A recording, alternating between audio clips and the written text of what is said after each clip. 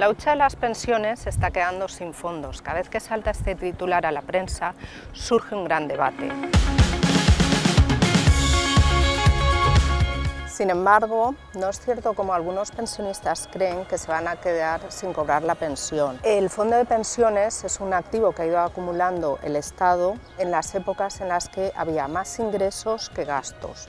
Actualmente hay más gastos que ingresos y entonces el Estado tiene que decidir cómo financiar esas pensiones. Puede financiarlas recurriendo a la hucha, o sea, al fondo de pensiones, o emitiendo deuda pública. En este caso ha preferido recurrir a la hucha porque emitir deuda pública resultaba más caro, porque actualmente España es un país muy endeudado. Con esto no quiero decir que no haya un problema con las pensiones. Sin embargo, el problema no es tan coyuntural como quedarnos sin la hucha de pensiones, sino es más bien de tipo estructural. Europa y por tanto España están envejeciendo y eso quiere decir que cada vez va a haber más gente jubilada que gente trabajando. Por eso nos preguntamos si el día de mañana podremos cobrar nuestra pensión y nos lo preguntamos con razón. El problema es que lo que nosotros estamos cotizando hoy sirve para pagar las pensiones de hoy. Sin embargo, los trabajadores tenemos la percepción de que lo que estamos cotizando hoy sirve para pagar nuestras pensiones futuras. Ahí hay un desfase porque dentro de unos años habrá más población jubilada que población trabajando. Habrá más necesidad de dinero para financiar esas pensiones que dinero se va a estar cotizando a la seguridad social. Este problema es especialmente grave en España, porque gracias a Dios España es uno de los países más longevos del mundo. Por otro lado, España es uno de los países europeos en los que hay una tasa de natalidad más baja y se ha caracterizado siempre por tener una alta tasa de desempleo. Este problema lleva debatiéndose hace ya más de 20 años.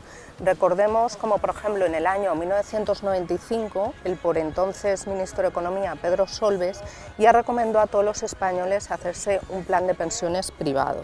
Fue precisamente ese mismo año cuando se firmó el llamado Pacto de Toledo, precisamente para solucionar los posibles problemas que pudieran surgir en un futuro con las pensiones porque a pesar de esto hemos vivido unos años de aparente tranquilidad, porque durante el boom inmobiliario España estuvo creciendo mucho económicamente, entonces estaba generando mucho empleo y de hecho tuvo que venir mucha gente de otros países a trabajar en nuestro país, con lo cual la pirámide poblacional creció precisamente en esa franja de edad de gente que está cotizando y eso hizo que pareciese que nuestras pensiones iban a estar salvadas. ¿Cuál es la perspectiva de futuro? Las pensiones de hoy no corren peligro, pero las del futuro sí, especialmente cuando llegue la edad de jubilación del llamado baby boom. Los gobernantes deberían buscar soluciones tanto justas como viables. Si nos fijamos los últimos días, por ejemplo, se está poniendo multas a los bancos que permiten que se cobren pensiones fraudulentas. Se ha propuesto que la gente elija los años de cotización de vida laboral, porque puedes tener mala suerte y los últimos años de cotización de vida laboral haber estado cobrando menos y eso luego perjudica a tus pensiones. Las soluciones viables son más difíciles de encontrar.